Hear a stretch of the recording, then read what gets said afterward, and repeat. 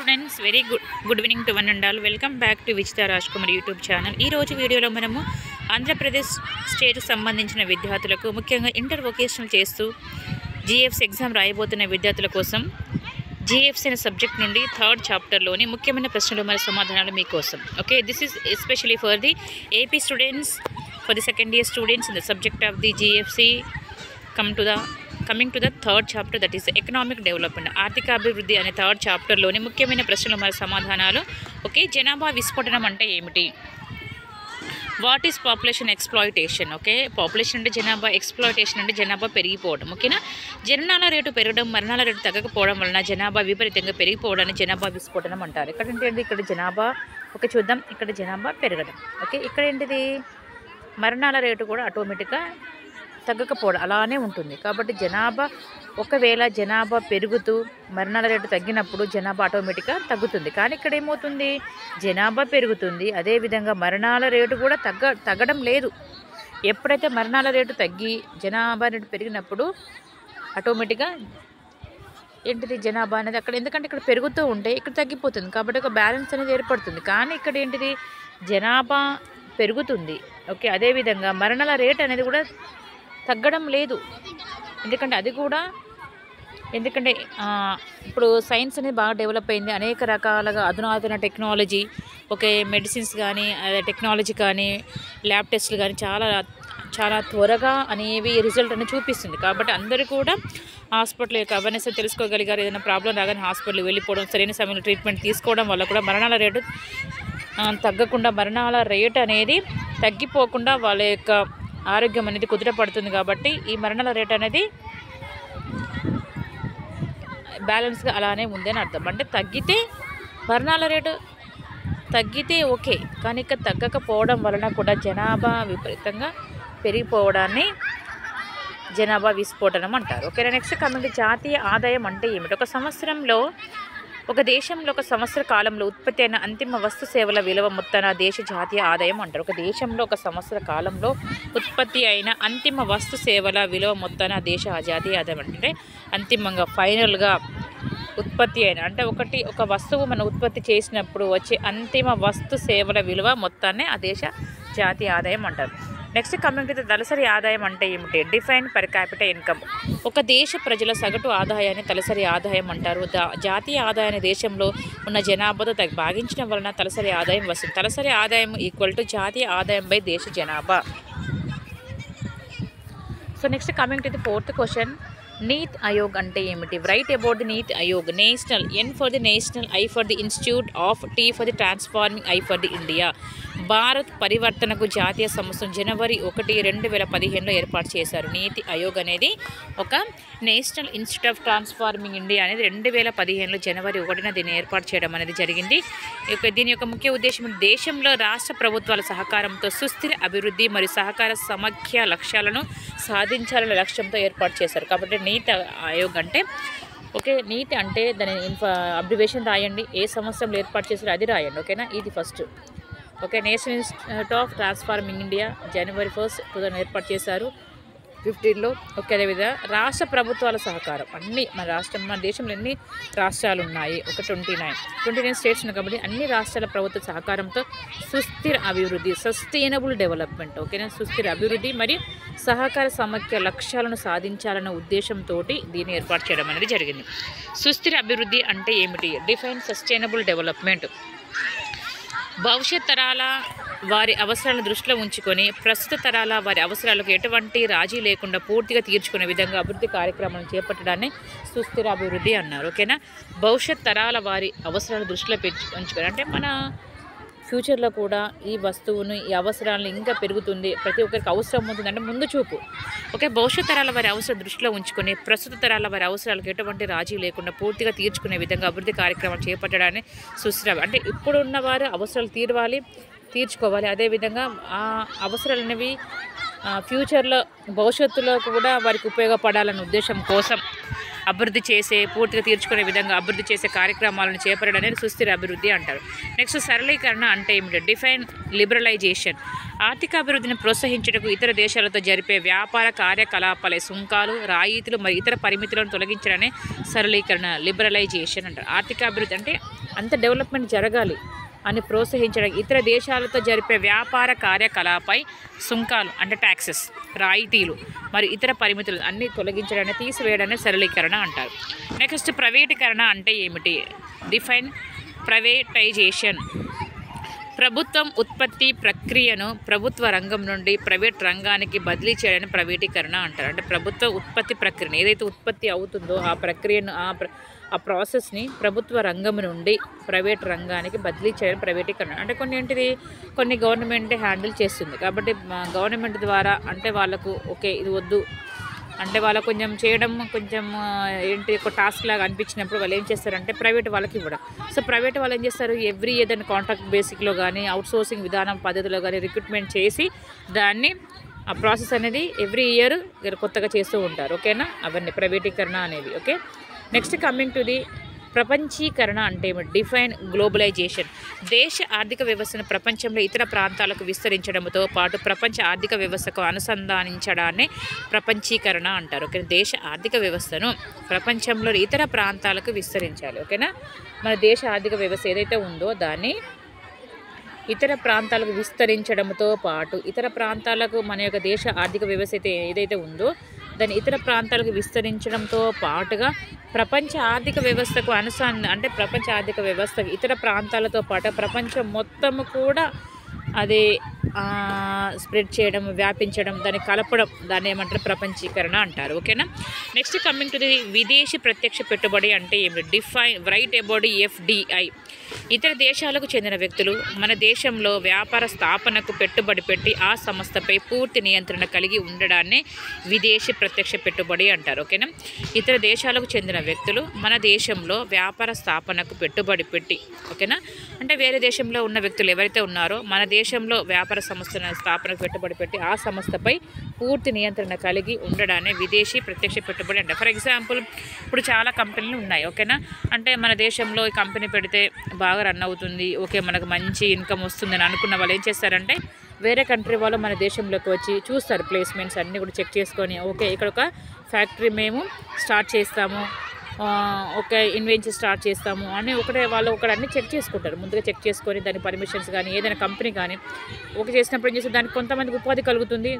అదే ఆ సంస్థపై కానీ ఆ కంపెనీపై కానీ ఆ ప- ఆ పరిశ్రమపై కానీ పూర్తి నియంత్రణ వాళ్ళ హ్యాండ్లోనే ఉంటుంది. వాళ్ళు చెప్పినట్టే అదన్నీ జరుగుతాయి. ఓకేనా? ఇతర దేశాలకు చెందిన వ్యక్తులు మన భారతదేశంలోని వచ్చి ఏదైనా ఒక సంస్థ ఒక పెట్టుబడి పెట్టండి. డబ్బులు వాళ్ళే పెడతారు. ఒక సంస్థ కానీ ఒక కంపెనీ కానీ ఒక ఏదైనా కానీ వాళ్ళే సెలెక్ట్ చేసుకొని వాళ్ళే మనీ పెట్టి దానిపై వాళ్ళు పూర్తిగా నియంత్రణ కలిగి ఉంటారు. దాన్ని విదేశీ ప్రత్యక్ష పెట్టుబడి అంటారు. ఎఫ్డిఐ ఫారెన్ డెవలప్మెంట్ ఇన్కమ్ అనుకుంటా సంథింగ్. ఓకే? సో నెక్స్ట్ ఏక గవాక్ష విధానం అంటే ఏమిటి? Write about single window system. అంతర్జాతీయ వ్యాపారులు ఇత్- వ్యాపార ప్రారంభానికి అవసరమైన స్థలం వివిధ రకాల అనుమతులు మరియు నియంత్రణ పత్రాలను ఒకే చోట ఇప్పించి సులభతరం చేయడాన్ని ఏక గవాక్ష విధానం అంట అంటే సింగిల్ విండో సిస్టమ్. ఓకే అంతర్జాతీయ అంటే ఏంటిది? మన దేశం నుంచి వేరే దేశానికి అన్నట్టు ఓకేనా? ఓకే అంటే మన జాతీయ అంటే నేషనల్ భారతదేశం మొత్తం మీద జాతీయం అంటాం అదే వేరే దేశం నుంచి అయితే అంతర్జాతీయ వ్యాపారులు. ఏవైతే అంతర్జాతీయ వ్యాపారులు ఉంటారో వారి వ్యాపార ప్రారంభానికి అవసరమైన స్థలం. కాబట్టి వేరే దేశం నుంచి వచ్చి మన దేశంలోనికి ఒక వ్యాపారం ప్రారంభించాలంటే ఫస్ట్ వాళ్ళు ఏం చేస్తారు? దే విల్ సెలెక్ట్ ప్లేస్ ఓకేనా? స్థలం. అదేవిధంగా పర్మిషన్స్ ఇంకేమేమి అవసరం ఉంటాయో అంటే ఆ ప్లేస్ కొనాలన్నా దానికి పర్మిషన్ తీసుకురావాలి. ఓకే ఫ్యాక్టరీ కన్స్ట్రక్షన్ చేయాలన్నా ఏదైనా వాటర్ కావాలన్నా ఇంకా ఎలక్ట్రిక్ సపరేట్ కావాలన్నా కూడా కొంతమంది పర్మిషన్స్ అంటే కొన్ని డిపార్ట్మెంట్ కొన్ని అనుమతులు అనేది అవసరమై ఉంటుంది ఓకేనా? అదేవిధంగా నియంత్రణ పత్రాలు అంటే సర్టిఫికెట్స్ సర్టిఫికెట్స్ కూడా ఉంటాయి. కాబట్టి అన్నీ కూడా ఒకే చోట ఇప్పించి సులభతరం ఈజీ చేయడాన్ని ఏమంటారు? ఏక గవాక్ష విధానం లేదా సింగిల్ విండో సిస్టమ్ అంటారు. సో ఇప్పటి వరకు మనం టూ మార్క్స్ క్వశ్చన్ చూసాం కదా ఇప్పుడు మనం సిక్స్ మార్క్స్ క్వశ్చన్స్ చూద్దాం. భారతదేశంలో అధిక జనాభా గల కారణాలు తెలపండి ఓకేనా? Ex explain the causes of the over population India first గ్రామీణ పేదరికం. పేదరికం అనే భావన ప్రధానంగా గ్రామాలకు సంబంధించింది. ఒకటి గ్రామీణ పేదరికం అన్నాం కాబట్టి ఇక్కడ దేనికి సంబంధించింది? గ్రామాలకు సంబంధించింది. ఒక గ్రామీణ ప్రజలలో ఉండే ఈ పరిస్థితిని గ్రామీణ గ్రామీణ పేదరికం అంటారు. నిరక్షరాస్యత మరియు మూఢ విశ్వాసాలు ఈ రకమైన పేదరికాన్ని ముఖ్యమైన కారణాలుగా చెప్పుకోవచ్చు. వీరు కనీస అవసరాలైన తినడానికి తిండి ఉండడానికి ఇల్లు కట్టుకోవడానికి బట్టలు కూడా సమూర్చుకో సమకూర్చుకోలేరు. ఓకేనా? ఈ పేదరికం అనేది ముఖ్యంగా గ్రామీణ ప్రాంతాలు నివసిస్తున్న వారికి సంబంధించింది. ఓకేనా? ముఖ్యంగా ఏంటిది ఇక్కడ? నిరక్షరాస్యత గమనించవచ్చు. మన మూఢ విశ్వాసాలు పేదరికానికి గల ముఖ్యమైన కారణాలుగా మనం చెప్పవచ్చు ఓకేనా? చదువు లేకపోవడం. చదువుకోరు కాబట్టి వాళ్ళకి ఎలాంటి దేని గురించి ఐడియా ఉండదు అవగాహన ఉండదు కాబట్టి నిరక్షరాస్యత. మూఢ విశ్వాసాలు అమ్మో దయ్యం పట్టింది భూతం పట్టింది ఎవరో చేతబడి చేశారు. ఇవన్నీ కూడా కాబట్టి ఎందుకంటే చదువుకోరు కాబట్టి చదువు లేదు కాబట్టి వీటన్నిటి మీద ఎక్కువగా విశ్వాసం అనేది లేకుండా మూఢ నమ్మకాలకు ఎక్కువగా అలవాటు పడే అవకాశాలు ఎక్కువగా ఉంటాయి కాబట్టి ముఖ్యంగా ఈ పేదరికానికి మూఢ విశ్వాసాలు అదేవిధంగా నిరక్షరాస్యత అనేది ప్రధాన కారణాలుగా మనం చెప్పుకోవచ్చు. కాబట్టి వీరు ఏం చేస్తారు? ఇవే ఈ నిరక్షరాస్యత మూఢ విశ్వాసాల ప్రధాన కారణాలుగా ఉండడమే కాకుండా వాళ్ళు కనీస ప్రతి మనిషి కనీస అవసరాలు ఏముంటాయి? తినడానికి తిండి ఉండడానికి ఇల్లు కట్టుకోవడానికి బట్టలు త్రాగడానికి నీరు ఇవన్నీ ఉండాలి. కాబట్టి ఇవి కూడా వాళ్ళు సమకూర్చుకోలేని స్టేజ్లో ఉంటారు. ఓకేనా? అది. ఒక పేదరికం అయిపోయిన గ్రామీణ పేదరికం. ఫస్ట్ కారణం అయితే నెక్స్ట్ సంపూర్ణ పేదరికం.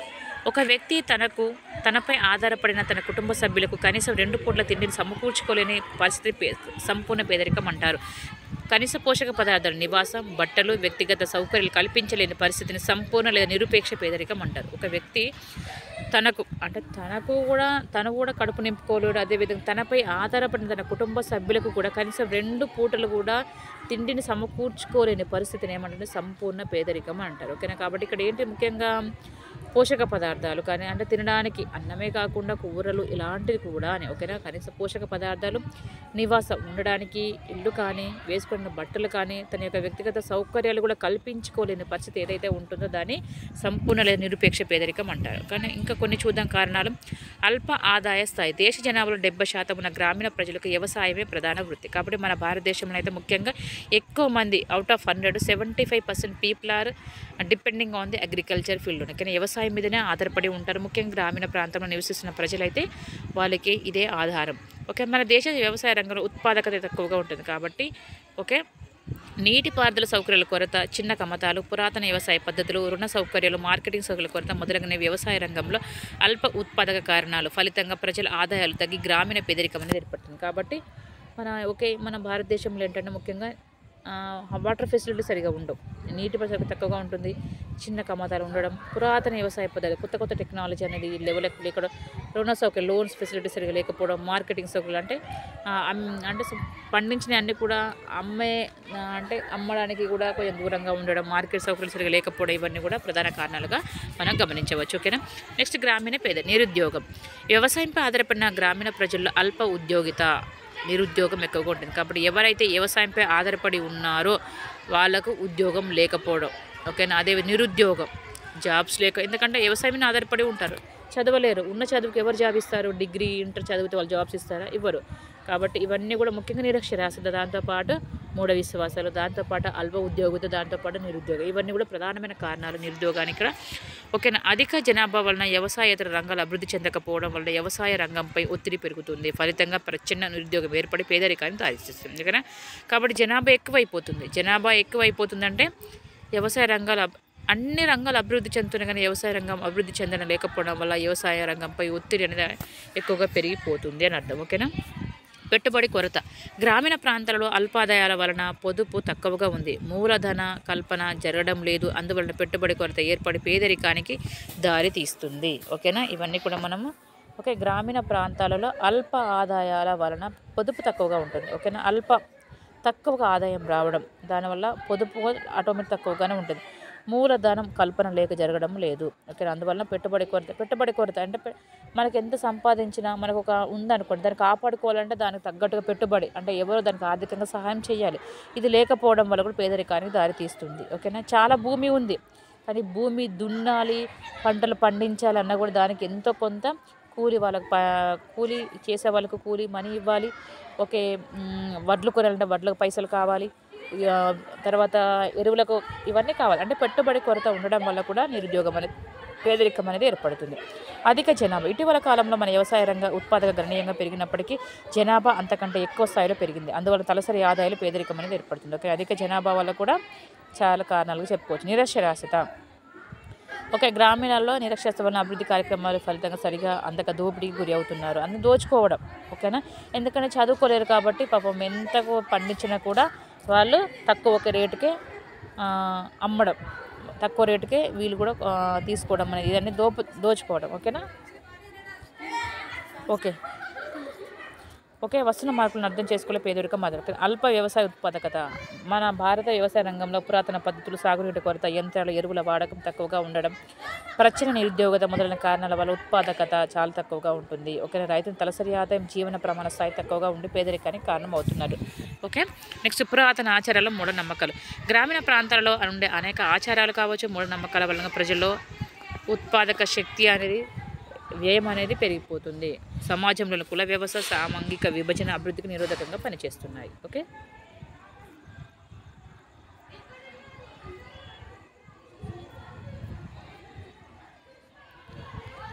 ఓకే నెక్స్ట్ క్వశ్చన్ చూస్తుంటే ఆర్థిక అభివృద్ధిలో విద్య మరియు ఆరోగ్య పాత్రను వివరించండి. Discuss the role of education and health in economic development. ఆర్థిక అభివృద్ధిలో విద్య యొక్క పాత్ర ఏంటి? ఇక్కడ క్వశ్చన్ ఏంటిది?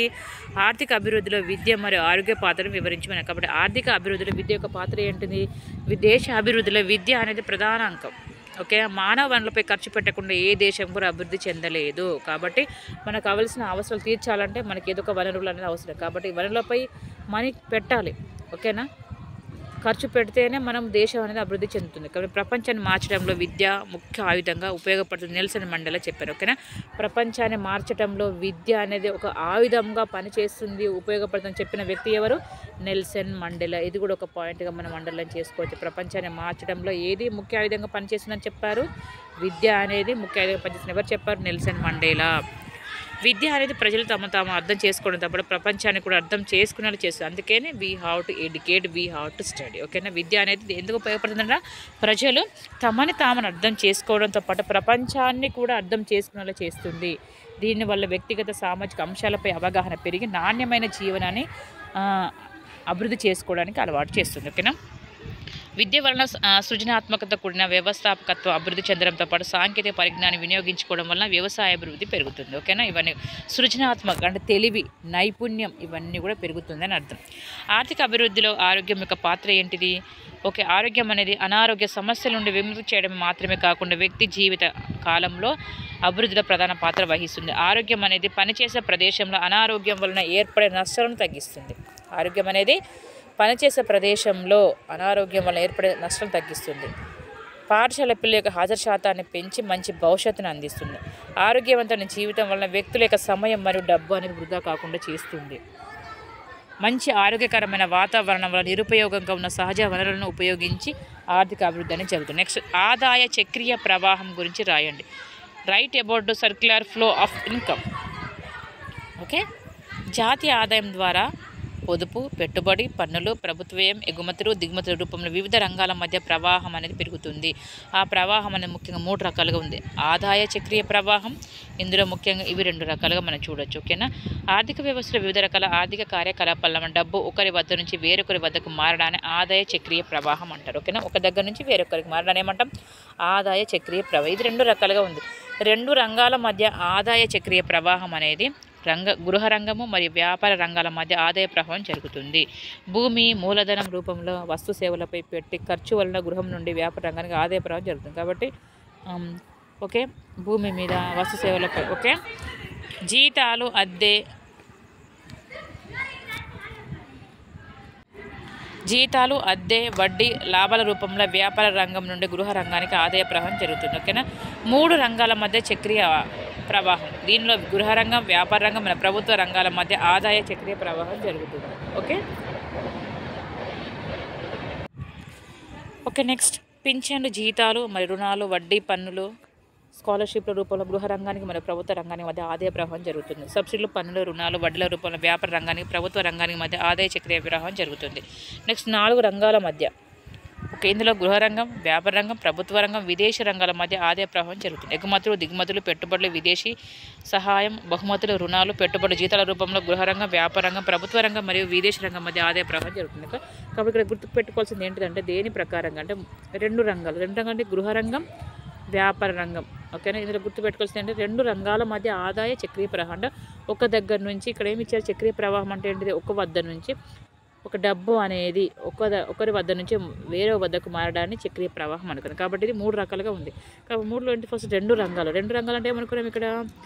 గృహ రంగం వ్యాపార రంగాల మధ్య. గృహ రంగం వ్యాపార రంగాల మాత్రమే జరుగుతుందంట. ఓకేనా? ఒకటి గృహము ఇంకొకటి వ్యాపార రంగం ఈ రెండు రంగాల మధ్య జరిగే ఈ వస్తు మార్పు ఈ డబ్బు మార్పుని మనం అనుకున్నాం. ఓకేనా? నెక్స్ట్ మూడు రంగాలు. ఇక్కడ మూడు రంగాలు ఏమనుకున్నాం? గృహ రంగం వ్యాపార రంగం ప్రభుత్వ రంగాల మధ్య. ఈ మూడు గుర్తుపెట్టుకుంటే సరిపోతుంది. ఓకేనా? గృహరంగం వ్యాపారం. ఇక్కడ అడిషనల్గా ఏం యాడ్ చేస్తారు? ప్రభుత్వ రంగం యాడ్ చేస్తారు. ఓకేనా ఇక్కడ చూద్దాం. నాలుగు రంగం అంటే ఇక్కడ ఏమనుకున్నాం? ఇక్కడ ఇంత స్టార్టింగ్ నుంచి తెలుసు మనకు. గృహ రంగం వ్యాపార రంగం అనేది రెండు రంగాలు. మూడో రంగం ఏమనుకున్నాం? ప్రభుత్వ రంగం. ఇక్కడ నాలుగో రంగం అన్నారు కాబట్టి విదేశీ రంగాల మధ్య గృహ వ్యాపార ప్రభుత్వ మరియు విదేశీ రంగాల మధ్య జరిగే ఆదాయ చక్రీయ ప్రవాహాన్ని మనం ఇదే అనుకున్నాం. ఓకేనా అర్థమవుతుందో? మీరు క్లియర్గా చూడండి అర్థమవుతుంది. ఈజీగానే నాలుగో క్వశ్చన్ జాతీయ ఆదాయ భావనల గురించి రాయండి. Briefly explain the concepts of the national income ఒక దేశంలో ఒక సంవత్సర కాలంలో ఉత్పత్తి అయిన అంతిమ వస్తు సేవల విలువ మొత్తాన్ని ఆ దేశ జాతీయ ఆదాయం అన్నాను ఇక స్థూల జాతీయోత్పత్తి. వినియోగదారుల వస్తు సేవలపై చేసే వ్యయం ప్రభుత్వ ప్రైవేట్ రంగాల పెట్టుబడులు ప్రజా ఉపయోగ కార్యక్రమంలో ప్రభుత్వం చేసే వ్యయం విదేశీ నికర ఆదాయాన్ని కలిపి స్థూల జాతీయోత్పత్తి అంటారు. ఓకేనా? స్థూల జాతీయోత్పత్తి అంటే ఇక్కడ? ఒక దేశంలో వినియోగదారులు వస్తు సేవలపై చేసే వ్యయం ప్రభుత్వ ప్రభుత్వ ప్రైవేట్ రంగాల పెట్టుబడులు ప్రజా ఉపయోగ కార్యక్రమాలకు ప్రభుత్వం చేసే వ్యయాన్ని కలిపి స్థూల జాతీయ దేశీయోత్పత్తి అంటారు ఓకేనా? వెస్ట్ ఆదాయం. ఒక సంవత్సర కాలంలో ఒక దేశంలోని వ్యక్తులకు లభించిన వ్యక్తి మాదిరి వెస్ట్ ఆదాయం అంటారు. ఆ, వ్యాహార ఆదాయం. ఒక వ్యక్తి తనకు నచ్చిన ఆదాయం నుంచి ప్రభుత్వాన్ని చెల్లించిన పనులను తీసివేయగా వచ్చిన దాన్ని వ్యాహార ఆదాయం అంటారు. తలసరి ఆదాయం అంటే ఒక దేశ ప్రజలు సగటు ఆదాయాన్ని తలసరి ఆదాయం అంటారు. జాతీయ ఆదాయం దేశంలో ఉన్న జనాభాతో భాగించడం వల్ల తలసరి ఆదాయం వస్తుంది. ఓకే తలసరి అంటే జాతీయ ఆదాయంపై దేశ జనాభా. నెక్స్ట్ ఆర్థిక సంస్కరణ గురించి రాయండి. Write about economic reforms in India అభివృద్ధి చెందుతున్న దేశాలు నిర్మాణ కారణాల వల్ల అభివృద్ధి చెందలేక దేశంలో అనేక ఇబ్బందులతో పాటు ఇతర దేశాలతో పోటీ తట్టుకునే శక్తి లేకపోవడం వల్ల అనేక ఇబ్బందులకు గురి అవుతున్నాయి. కాబట్టి ఇక్కడ ఏంటిది? దేశంలో నిర్మాణాత్మక కారణాల వల్ల అభివృద్ధి చెందుతున్న దేశాలు నిర్మాణాత్మక కారణాల వలన అభివృద్ధి చెందలేక అనేక ఇబ్బందులతో పాటు ఇతర దేశాలతో ఒక నిర్మాణాత్మక కారణాలు ఒకటి. అదేవిధంగా ఇతర దేశాలతో పోటీని తట్టుకోలేని శక్తి లేకపోవడం వలన అనేక కారణాలు. రెండే పాయింట్స్ గుర్తుపెట్టుకోండి. ఒకటి ఏంటిది? అభివృద్ధి చెందుతున్న దేశాలు ఏవైతే ఉన్నాయో అవన్నీ నిర్మాణాత్మక కారణాల వలన ఇంకొకటి ఇతర దేశాలతో పోటీని తట్టుకునే శక్తి లేకపోవడం వలన అనేక ఇబ్బందులు ఎదుర్కొంటున్నారు. అందువలన ఆర్థిక వ్యవస్థను బలోపేతం చేయాలనే ఉద్దేశంతో twenty four seven nineteen ninety నుంచి ఆర్థిక సంస్కరణలు మాజీ ప్రధాని పివి నరసింహ గారు అమలు చేశారు. ఎప్పుడైతే మనకు శక్తి తట్టుకునే శక్తి లేకపోవడం లేదని తెలుసుకున్న వెంటనే ఆర్థిక వ్యవస్థను బలోపేతం చేయాలనే ఉద్దేశం కోసం ఇరవై నాలుగు ఏడు పంతొమ్మిది పంతొమ్మిదిన ఆర్థిక సంస్కరణలను బలోపేతం చేశారంట అమలు చేశారు. ఎవరు? అప్పటి మాజీ ప్రధాని పివి నరసింహారావు గారు. ఓకేనా?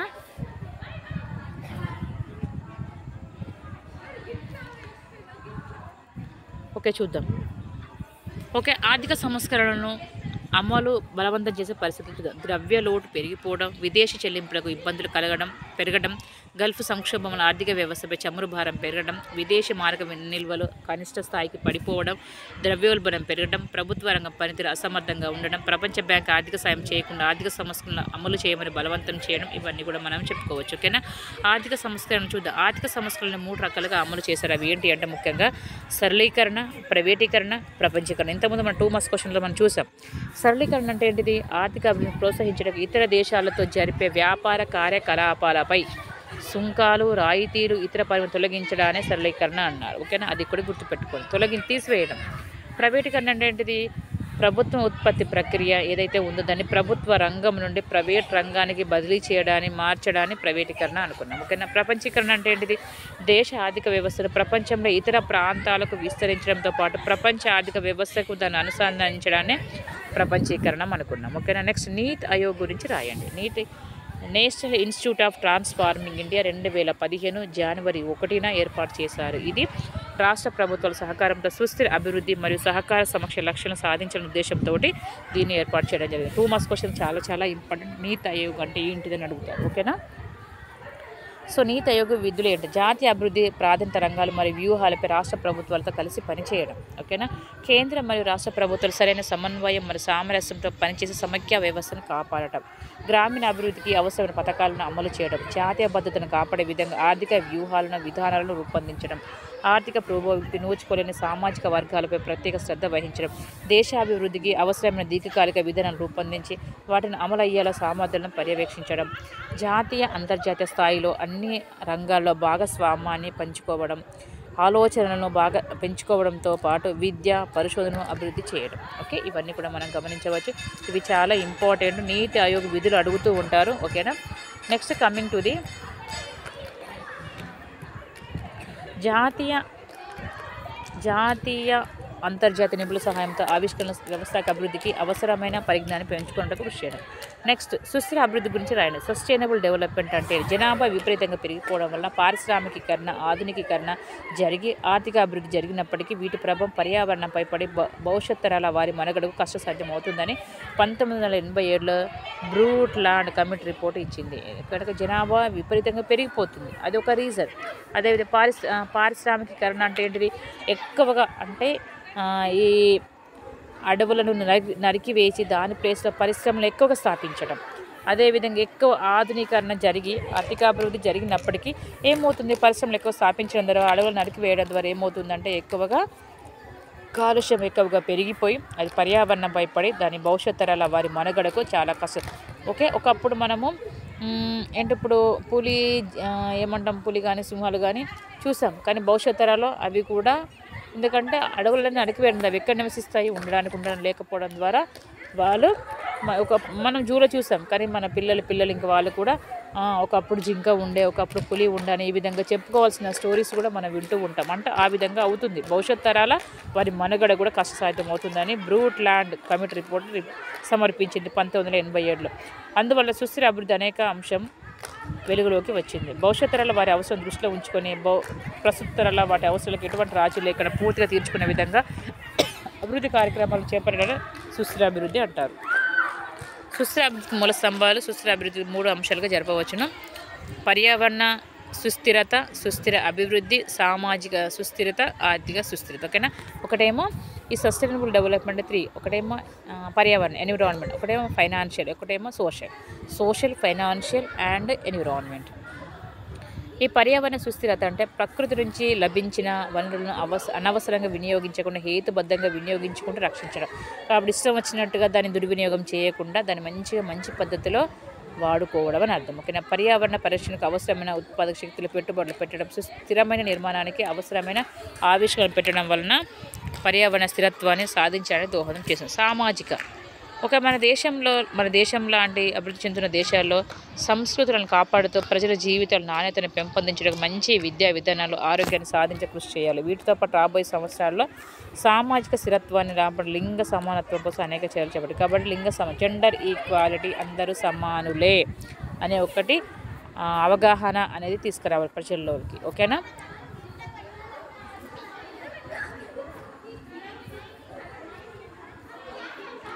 ఓకే నెక్స్ట్ లాస్ట్ ఆర్థిక సుస్థిరత. పెట్టుబడులు మరి సమాన సమాన ఆర్థిక వనరుల పంపిణీ అనేది ఆర్థిక సుస్థిరతకు పునాదులు. పర్యావరణానికి ఎటువంటి హాని జరగకుండా ఆర్థిక వృద్ధి మరియు సంపద పంపిణీ జరగాలి. కాబట్టి పర్యావరణానికి ఎన్విరాన్మెంట్ ఎఫెక్ట్ పడకుండా దానికి కావలసిన అమౌంట్ కానీ దాన్ని కాపాడాలంటే ఎంతో కొంత ఆర్థిక సహాయం చేయాల్సి ఉంటుంది. కాబట్టి ఆర్థిక అభివృద్ధి అదేవిధంగా సంపద మనీ కూడా పంపిణీ చేయాల్సి ఉంటుంది. అలా అవుతేనే మనము ఈ పర్యావరణపై ఎలాంటి నష్టము రాకుండా కాపాడడానికి ఆస్కారం అనేది ఉంటుంది. సో ఇప్పటి వరకు మనము ఓకే ఇప్పటి వరకు మనం సో ఇప్పటి వరకు అయితే మనము జిఎఫ్సి సెకండ్ ఇయర్ వారికి థర్డ్ చాప్ థర్డ్ చాప్టర్లోని ఎకనామిక్ డెవలప్మెంట్ ఆర్థిక అభివృద్ధి అనే చాప్టర్లోని ముఖ్యమైన ప్రశ్న టూ మార్క్స్ క్వశ్చన్స్ అదేవిధంగా సిక్స్ మార్క్స్ క్వశ్చన్స్ చూసాం కదా. ఈ నోట్స్ అనేది ఈ ఎక్స్ప్లెనేషన్ అనేది ఆంధ్రప్రదేశ్లో చదువుతున్న ఇంటర్ వొకేషనల్ చదువుతూ జిఎఫ్స్ ఎగ్జామ్ రాయబోయే సెకండ్ ఇయర్ విద్యార్థుల కోసం ఈ వీడియో ఓకేనా? ఈ వీడియో మీకు యూస్ఫుల్ అవుతుంది నేను అనుకుంటున్నాను. ఇంకొక చాప్టర్ అయితే మీకు కంప్లీట్గా జిఎఫ్స్ అనేది కంప్లీట్ అయిపోతుందమ్మా. ఓకే ఈ వీడియో కానీ మీకు నచ్చినట్లయితే వెంటనే లైక్ చేసి మీ యొక్క ఫ్రెండ్స్ కూడా షేర్ చేసి వారితో కూడా సబ్స్క్రైబ్ చేయించండి. ఎందుకంటే మన ఛానల్ మీకు అన్ని అందుబాటులో ఉండే విధంగా నేను ట్రై చేస్తూనే ఉన్నాను. కాబట్టి I need your support and encouragement okay so thanks for watching my channel have a nice day